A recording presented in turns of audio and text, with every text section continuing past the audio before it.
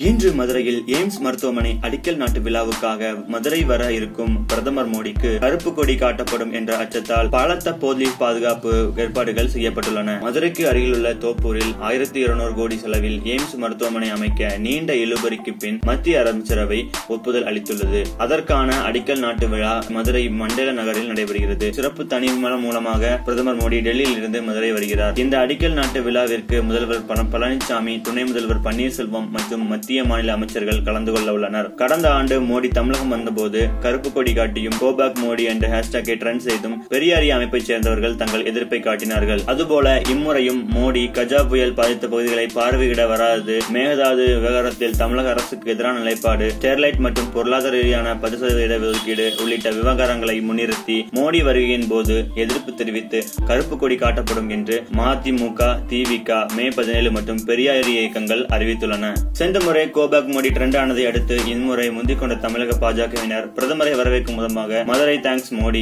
Come come Modi என்ற ஹேஷ்டேக்குகளை பயன்படுத்தி பதிவுகள் இட ஆரம்பித்தனர். இது ட்ரெண்ட் ஆகவே மீண்டும் கோபக் மோடி என்ற ஹேஷ்டேக்கை ட்ரெண்ட் ஆரம்பித்தனர் எதிர்த்தரப்பினர். இதனால் ட்விட்டர் மற்றும் பேஸ்புக் போன்ற வளர்த்த சமூக வலைதளங்களில் கோபக் மோடிக்கும் கம் கம் மோடிக்கும் இடையில் பலத்த போட்டி உருவாகியுள்ளது. ஆரம்பித்த கொஞ்ச நாட்களிலேயே Madurai thanks to Modi come come மோடியை விட கோபாக் மோடி இந்திய அளவில் ட்ரெண்டிங்கில் முன்னிலையில் உள்ளது. இதனால் மோடி வருகையின் போது எந்த விதமான விரும்பத்தகாத நிகழ்வுகளும் நடைபெறாமல் இருக்க மதுரை நகர் முழுவதும் பலத்த பாதுகாப்பு ஏற்பாடுகள் நடைபெற்று வருகின்றன. இதற்காக சுமார் ஐயாயிரம் போலீசார் வரை பாதுகாப்பு பணிகளில் ஈடுபடுத்தப்பட உள்ளனர்.